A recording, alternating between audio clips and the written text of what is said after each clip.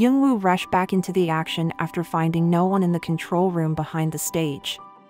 Everyone keeps telling Hei that the light was dropped over his head inadvertently, but there is no proof of it. However, it makes him start to worry about Hei and feel obligated to take care of her as team captain. Both Sun Ho and Youngwoo want to help Hei get home when she gets very wasted at a team drinks night. All three end up in the backseat of a cab, with Hei slouching from one man's shoulder to the other until she perks up and begins to perform cheer routines, at which point she slaps the other two men in the face. Sun Ho thinks it humorous, but Youngwoo is annoyed, which makes me wonder how she doesn't like Sun Ho even a little. Even though Hei has made it clear who her crush is, the drama is still playing about with the love triangle. When she and Youngwoo are paired up in class and asked to discuss their ideal marriage partners, Hei asserts that money is the most crucial component of a marriage, while Youngwoo asserts that love is the most crucial component. Later, though, it becomes clear that she had in mind Youngwoo, who is a charismatic leader who is genuinely kind once you get to know him. When writing about his ideal partner, Youngwoo mentions Hei and how she makes him grin. Sun Ho, meanwhile, beams while performing each action. When Thea takes the team on a field trip, Youngwoo does begin to open up a little. Hei sleepily cuddles up to him on the bus journey there even though they are running late to join. He concerns about an arrhythmia since his heart skips a beat. They exit the bus at night, and Youngwoo is pointing out stars. When he directs her hand towards a particular star, they momentarily hold hands. I got the impression from these sequences that Youngwoo likes Hei, but he feels embarrassed to admit it because he is the squad leader.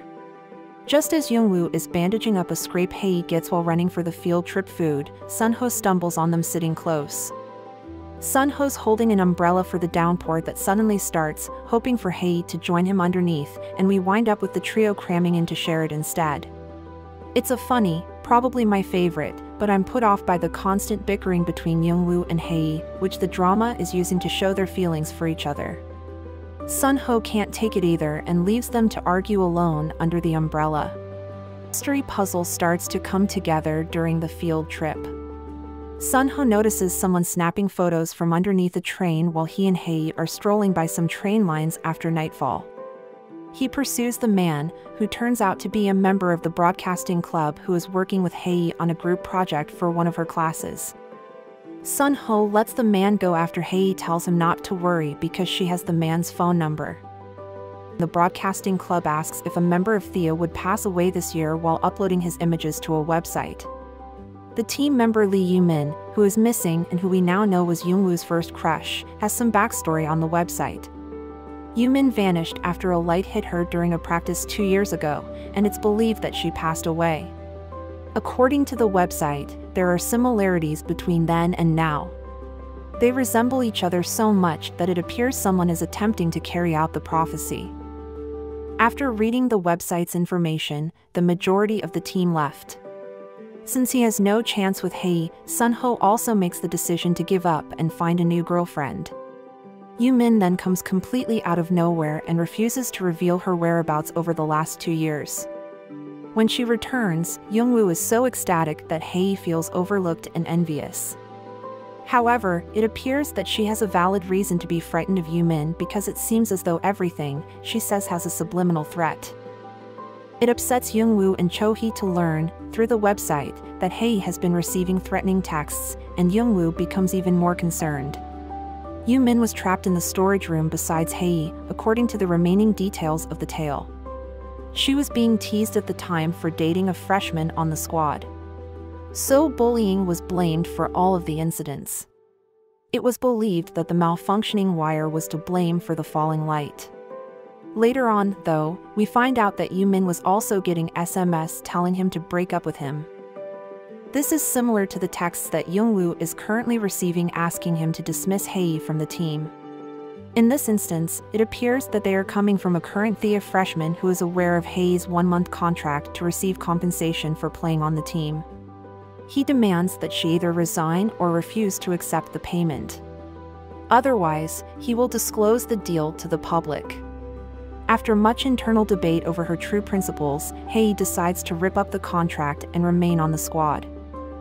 Hei disappears from the restroom during a Thea bar night, and Woo searches the entire neighborhood for her.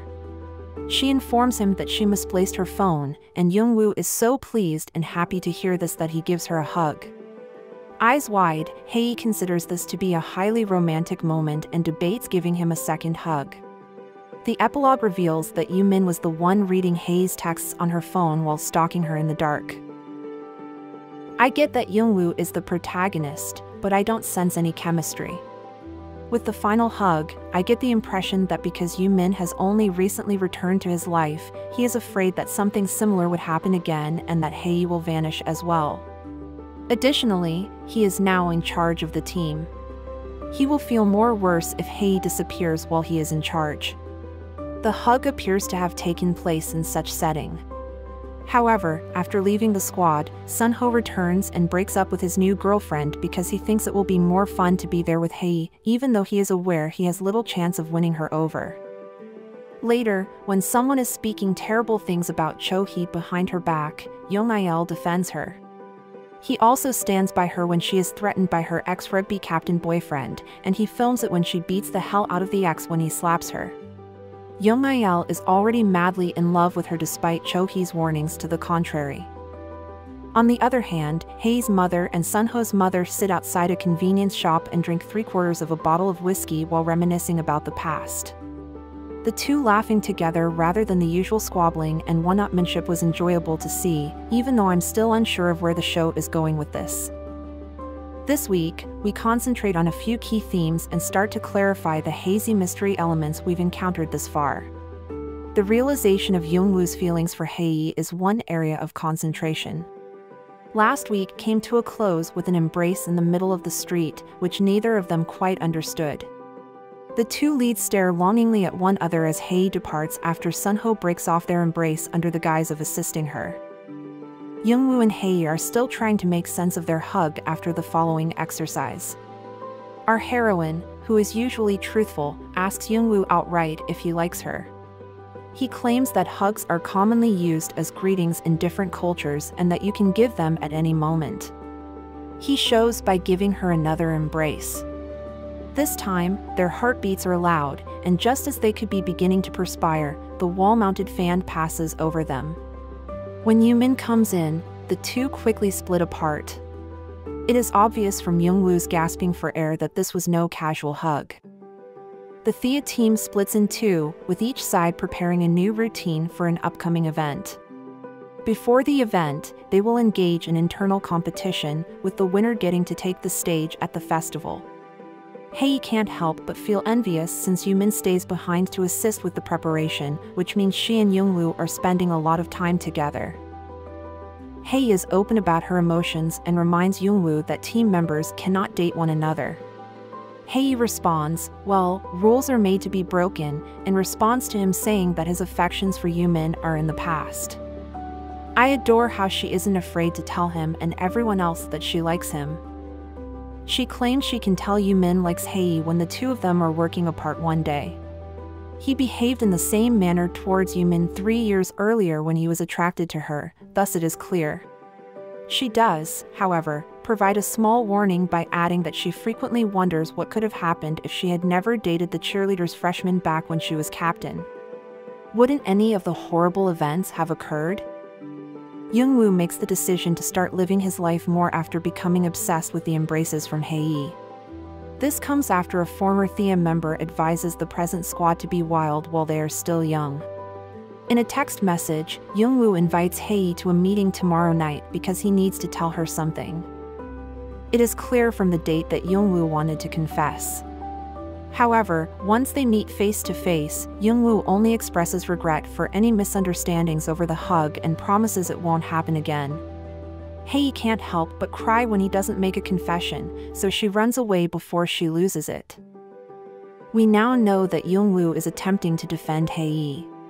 He not only heeds Yumin's advice to consider whether anything negative would have occurred in the absence of dating, but he has also identified the sender of the dreadful texts ordering him to fire Hei from the squad. Last week, fans discovered that the texts were being sent by Kim Min-jae, a different colleague. After putting things together, Youngwoo confronts Min-jae. Min Jae claims that he didn't like Hae when he sent the texts, but he no longer has that opinion. As far as we know, he was worried that Hae was merely in the squad for financial gain. We haven't observed any more issues between them since she tore up her contract. At the same time, Youngwoo has recently discovered a collection of pictures that someone had displayed in his workplace like an exhibition, indicating that someone is keeping an eye on him and Hae. Min Jae is shown briefly in front of the photographs. But when Youngwoo inquiries about the images, he claims to know nothing about them. Separately, we see Min Jae going through his own photos, and in one of them, Yoo Min is pictured wearing a cheerleader costume and embracing Min Jae. When they meet, Min Jae urges Youngwoo in a coded message to watch out lest it appear that he is favoring anyone. While preparing for a festival one day, Min and Hae both confess their affection for Youngwoo. Min advises Hae not to pursue their romance further. Because of what happened to her, we are aware that she is concerned about dating people from other teams and is probably trying to protect Hae. Later, Hae exudes smugness as she claims that she and Yumin are different since she is resilient and there is no need to be concerned. Given that she doesn't really know anything about Yumin, this appears arrogant. This week, family is another key topic. We delve into Sunho's past and learn more about the dynamics in Hae's family. Even when their mother is there, Hae attempts to act like a parent to her younger brother, Do Jae.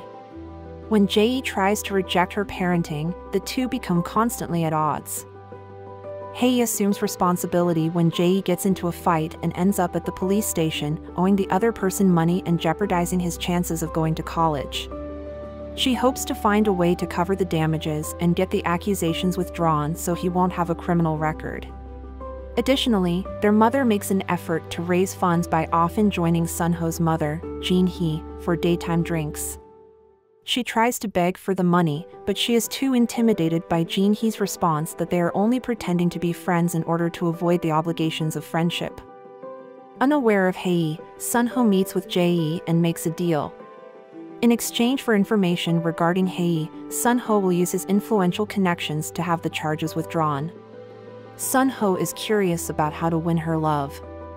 He inquiries about Jae's soft point, to which Jae replies that she is vulnerable to those who have wounds. Sunho brings coffee and kimbap to Hae's study session in an effort to be closer to her, but he is unable to express any of his hurts. One day during practice, Sunho blocks Hae from confessing to Youngwoo. Why don't you look at me instead of him? Sunho tries to act as though he is talking about watching his practice moves as Hae is surprised by how he is approaching her. He's lying, but he just won't admit it. He queries Jae as to whether there is another approach to reach Hae. Jae queries why, given his fame, he still has such a soft spot for his sister. Unfortunately, Sunho responds with a terrible response.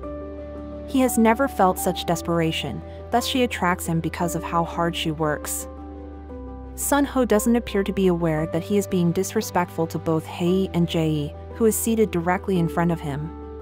Sunho is told by Jae as he leaves that he may be a little bothersome, which may be why Hae doesn't like him.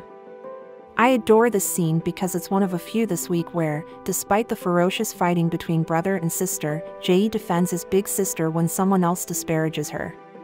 However, when he makes the same remarks about Hae that he previously defended her from, their mother slaps him in the back of the head. The scenario is complex and entirely plausible. When Sunho speaks to Hae, he presents his feelings in a different light. He compliments her on how amazing it is that she doesn't feel bad about being impoverished. He constantly worries that he will let someone down, that he could never accomplish what she does. He tells her that he despises his father. She says that although she occasionally resents her family, it's because she loves them and is trying to be kind. Sunho sobs and ponders her inability to like him. Why is it that no one likes him back? In an effort to console him, Hae gives him a hug, and Youngwoo happens to be nearby to see it. Additionally, Youngwoo observes that the two are seated on the stage in the half-moon position, which superstition claims will mean they end up together.